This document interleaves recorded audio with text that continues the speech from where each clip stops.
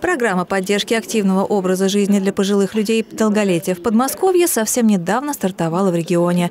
И уже сейчас понятно, что эта мера востребована и своевременна. Теперь видновчане могут найти занятия по душе не только в стенах Центра социального обслуживания «Вера», но и за его пределами. Отделение дневного пребывания будет работать, в принципе, в том же русле, что и работало раньше, просто мы расширяемся.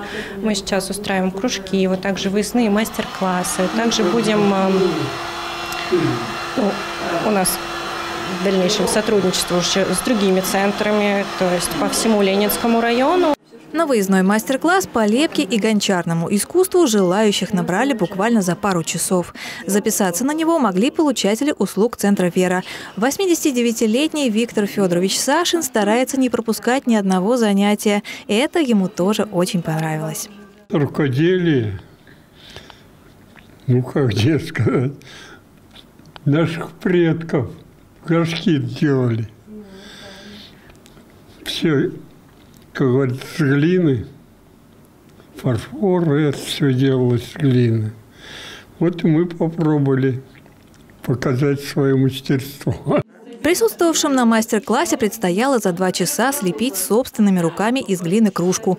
У кого-то получалось лучше, у кого-то хуже, но прелесть глины заключается в том, что никогда не поздно подкорректировать неудачные места или вовсе начать лепить заново. Вот такая кружка получилась. У меня получалось она дважды. Потому что давно не лепила. Тут ручку даже прилепила, какая-то сложновато. Вот. Ручку. Да. Она, знает, то и дело отваливается. После росписи специальными красками предстоит длительный процесс по превращению заготовки в готовое изделие. Потом это все будет сохнуть около недели. Ну, потому что сейчас жара, это может быть чуть поменьше времени, около пяти дней будет сохнуть, обжигаться в первый раз утильный обжиг, потом покрываться глазурью прозрачной и еще раз обжигаться. Где-то через две недели, дней 10-14 будет все готово.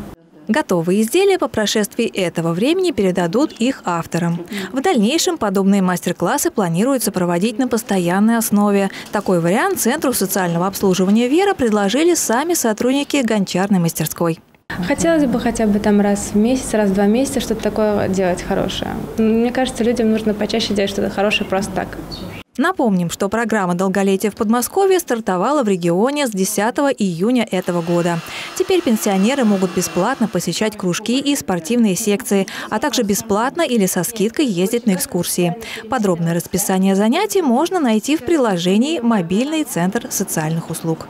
Екатерина Борисова, Александр Будников, Ольга Садовская. Видно этого.